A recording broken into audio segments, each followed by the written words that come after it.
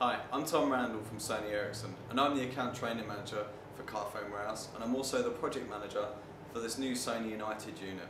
We're really excited about this refresh. You'll find this coming into your stores very soon and this video is just to take you through and demonstrate to you the brand new products such as the Xperia X10, the latest Vaio, the latest Bravia and also our latest stereo Bluetooth headset, the MW600. So we're going to be taking you through these products, how they talk to each other and how the demo stand works. So this new and improved Sony United stand, how it all works, it uses the latest UPnP technology, which stands for Universal Plug and Play. Now most devices that use this technology will carry a DLNA certification. You'll see this logo on most products. So what this means is that products can connect to your normal home domestic wireless router to create a home network. So devices can share media content from one to another, such as we have on our demo stand. We have the Xperia X10, which has an amazing 8.1 megapixel camera.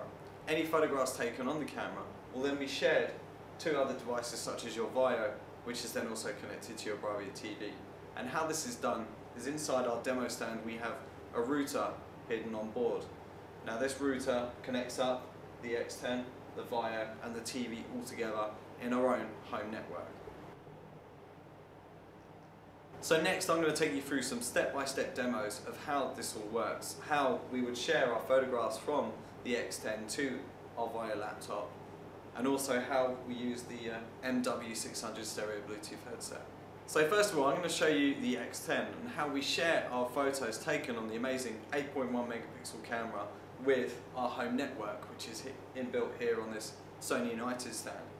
So first of all, for those of you who are not familiar with the Xperia X10, we've got Mediascape which has been specifically designed for Sony Ericsson handsets for browsing our online and offline photographs that takes advantage of obviously the touch interface of the camera and if we go back you can see the automatic face recognition kicking in there. It will automatically tag up five of your friends in photographs themselves. But we're going to go back out and take a photo now. Because in store, this is maybe a good way for you guys to demo it. So if we just go to the camera, just like any other Sony Ericsson camera phone, we just push and hold the camera button, and this will bring up the camera menu. Now, on this demo stand, it's important to remember that we have it in the right megapixel, because you can easily change the megapixel down to a 2 meg or a 2 meg widescreen. So we want to make sure it's in the full capacity 8 megapixel or if we want to, we can put it in widescreen at 6 megapixel. Reason for this is when we blow up our photographs on the screen, they will look absolutely fantastic on the high definition quality. So we make sure it's an 8.1 megapixels. And now I'm just going to take a photo of my camera crew.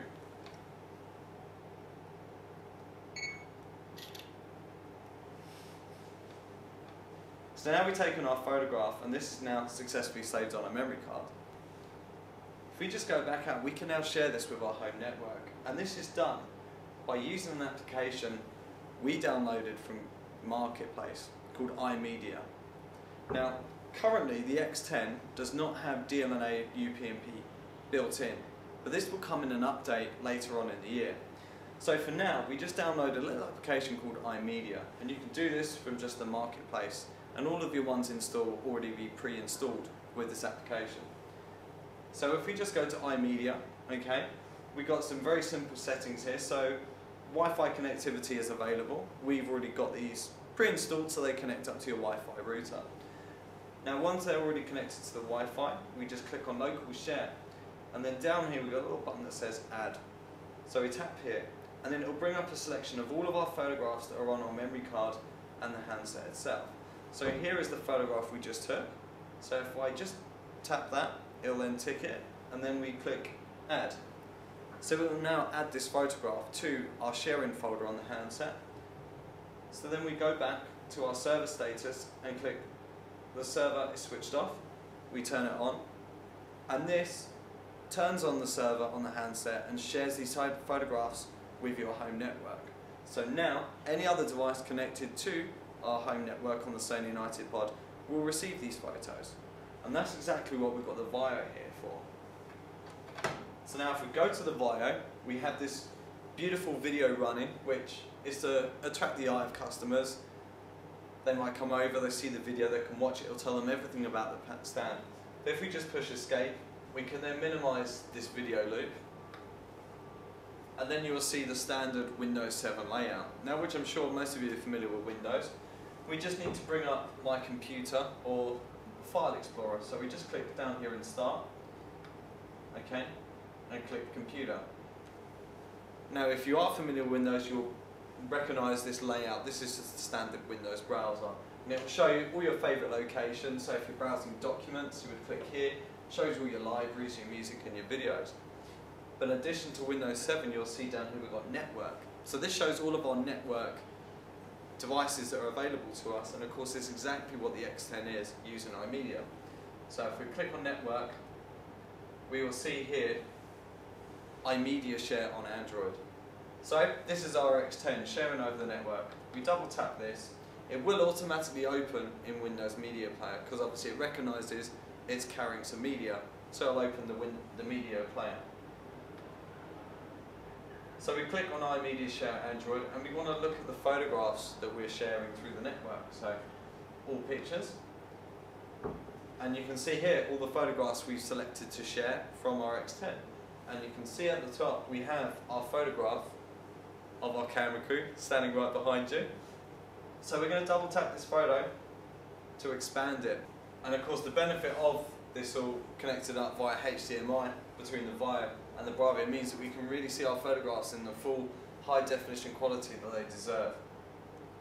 So if we just expand this to full screen we can really show off the detail on the photographs taken in the 8.1 megapixel. So we can actually, as well as showing off the, share, the home network sharing technology, we can also show off the clarity of the 8.1 megapixel camera on the Xperia X10. So as well as displaying these photos in full quality, there are other benefits to sharing your photos over the home network, so we can back them up also. So these photos displaying on our Vaio screen now, we can copy them to the hard drive, from which of course we can then print them, send them away, email, or upload them to our Facebook profile too. So it's a great way of sharing connectivity and sharing our content without the need for any wires whatsoever.